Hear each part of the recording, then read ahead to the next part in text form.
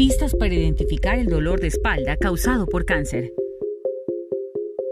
Hasta un 80% de la población sufre dolor de espalda intenso en algún momento de su vida. Es un síntoma muy frecuente y benigno en la mayoría de los casos.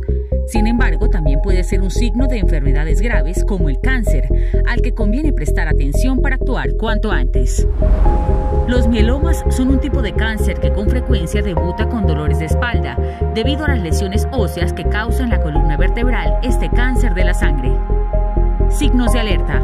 Cuando un paciente acude a consulta con dolor lumbar, que es la forma más habitual de dolor de espalda, las luces de alarma se encenderán. En primer lugar, si ya ha sufrido un cáncer, pero el médico también prestará atención a otras características del dolor y a los síntomas que lo acompañan.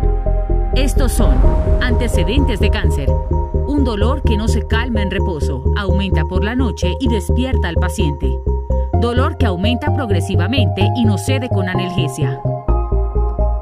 Fiebre acompañante. Déficit neurológico, pérdida de sensibilidad y fuerza en las piernas. Pérdida del control de esfínteres.